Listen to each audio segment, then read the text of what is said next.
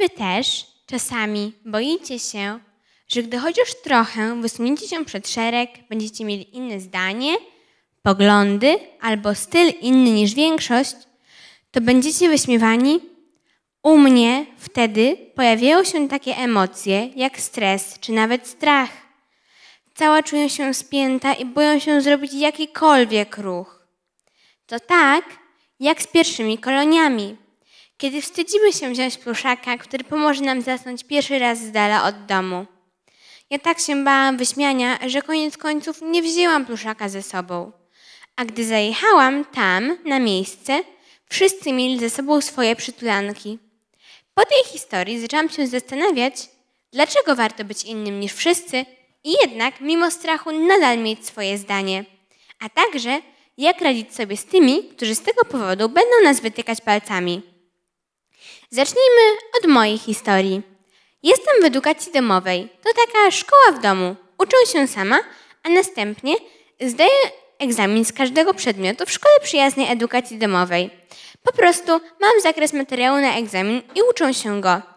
Przy okazji mam też plastykę, ponieważ czasami rysuję sobie to, co mam zapamiętać. A ja uwielbiam rysować. Mam też więcej czasu na rozwijanie swoich pasji, którymi są pisanie i teatr. Jednak czasami, gdy ktoś zapyta mnie, do jakiej szkoły chodzę, a jest to pytanie, które zadajemy zazwyczaj po pytaniach, jak się nazywasz, ile masz lat, gdy poznajemy nową osobę, a ja odpowiem, że uczę się w systemie edukacji domowej, to mam dziwne wrażenie, że ten ktoś patrzy na mnie tak, jakbym nie nadawała się do zwykłej szkoły. Jednym słowem, jakbym była gorsza. Gdy ktoś tak na mnie patrzy, to jest to bardzo nieprzyjemne uczucie. Czuję się wtedy, że temu komuś się wydaje, że już wie o tobie wszystko. Wręcz namacalnie czuję się wzrok tej osoby i w jej oczach można dostrzec czasami nawet nutkę odrazy. Jednak ja na szczęście wcale nie czuję się gorsza. Chodzę do innej szkoły, czuję się wyjątkowa i dzięki temu jestem szczęśliwa. Chciałabym, aby w przyszłości nikt już się tak nie zachowywał. Mam podejrzenie, że to przez niezrozumienie, na czym ten system edukacji polega. Edukacja domowa to dla mnie lepszy, łatwiejszy i przyjemniejszy sposób nauki. Tylko wymaga dobrej organizacji. Wiem, że nie każdy wie, jak ją sobie wypracować jak się jej nauczyć, dlatego chętnie podzielę się swoimi sposobami. Pierwszy sposób to planowanie i oznaczanie, że się ten plan zrealizowało. Ja planuję wszystko w specjalnym kalendarzu, aby potem mieć wszystko w jednym miejscu. Planuję też tam na przykład rodzinne wyjazdy. Czasami na horyzoncie pojawia się lenistwo. Aby je pokonać, mogę skorzystać z drugiego sposobu. Po prostu na chwilę wychodzę na dwór, aby przewietrzyć umysł. Ta metoda działa zwłaszcza, kiedy na dworze jest chłodno. Gdy wrócę do domu, od razu nie chcę się z powrotem wracać do łóżka. A trzeci, mój ulubiony sposób, to wymyślanie sobie nagrody. Wtedy, gdy robi się coś nieprzyjemnego, zawsze z tyłu głowy jest ta myśl, że gdy się skończy, zacznie się robić tą przyjemną rzecz.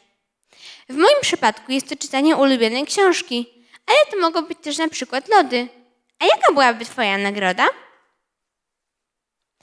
Nie tylko ja doszłam do wniosku, że warto być innym. Bohaterką moich kolejnych historii jest Ania. Nie była jak inne dziewczyny. Gdy one ubierały się tylko w pastelowe kolory, Ania wolała te neonowe, które zdaniem wszystkich strasznie raziły w oczy. W szkole popularna była muzyka popowa, a Ania wolała rock. Większość dziewczyn chodziła w sukienkach, a Ani było wygodniej w dżinsach. I niby nie ma w tym nic złego, ale mimo, że nie była miłą i wesołą osobą, nie miała w szkole żadnych przyjaciół. Była z tego powodu bardzo smutna i myślała, że do niczego się nie nadaje. Całymi dniami chodziła markotna, nie mogła spać i za wszelką cenę starała się wszystkim przypodobać. Na przykład oddawała swoje drugie śniadanie albo pozwalała od ciebie ściągać na lekcjach ale dzieciaki wciąż się śmiały. W końcu straciła zupełnie wiarę w siebie. Myślała, że to z jej winy nikt nie chce się z nią przyjaźnić.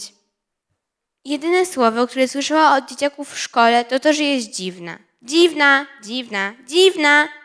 Ciągle odbijało się jakby echem w jej głowie.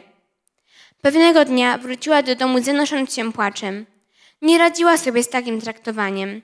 Postanowiła pójść i porozmawiać z mamą. Mama wysłuchała jej bardzo uważnie i powiedziała jej o sposobach, Jak radzić sobie z tymi, którzy jej dokuczają? Pierwszy sposób to cięta riposta. Popatrz przeciwnikowi prosto w oczy i na uwagę, ale się ubrałaś, odpowiedz z przekąsem. Tak myślisz? To dziwne, bo wzięłam przykład z ciebie. Warto być pewnym siebie, nawet jeżeli w środku się trzęsiemy. Drugi sposób to ignorowanie. To trudne, bo zniewagi wciąż bolą, ale podobno ta metoda jest bardzo skuteczna. Czego chcą ci, którzy nam dokuczają? Naszej reakcji, najlepiej złości lub zdenerwowania. Nie dajmy im tej satysfakcji. Nie reagujmy, kiedy się wyśmiewają lub nas przezywają. Nie widząc naszego zdenerwowania, w końcu dadzą nam spokój. A trzeci, mój ulubiony sposób, to ostrzeżenie. Przyjmijmy tajemniczy ton głosu i szepnijmy, żeby mieli się na baczności, pewnego dnia oni też mogą usłyszeć coś ciekawego, na przykład o swoim ubraniu, nosie albo wzroście. A czy ty masz jakiś sposób na kpiny? Ania po rozmowie z mamą poczuła się dużo lepiej. Zapisała się na zajęcia dodatkowe, miała swoją najlepszą przyjaciółkę i paczkę znajomych. Po prostu zaczęła być szczęśliwa. Czy jesteście ciekawi, co stało się z Anią, kiedy dorosła? Była bardzo kreatywna, więc szybko znalazła pracę, którą pokochała. Była oryginalna w swoim stylu, dlatego została ilustratorką książek fantastycznych i tworzyła wspaniałe ilustracje, za które była wielokrotnie nagradzana. Mama powiedziała jej coś jeszcze w trakcie tej pamiętnej rozmowy. To to zdanie, dzięki któremu odniosła tak duży sukces i nigdy nie zrezygnowała ze swojego stylu, po to, by inni przestali się z niej wyśmiewać. Dziwna, w tłumaczeniu na angielski, znaczy different, ale jednym z tłumaczeń tego słowa w słowniku jest inna. Nie jesteś dziwna, jesteś inna, więc wyjątkowa. Ja wyciągnęłam z tej historii taki wniosek. Warto pozostać innym za wszelką cenę, ponieważ inny znaczy wyjątkowy. A ja już to wiem, że tylko dzięki tej wyjątkowości jesteśmy naprawdę sobą.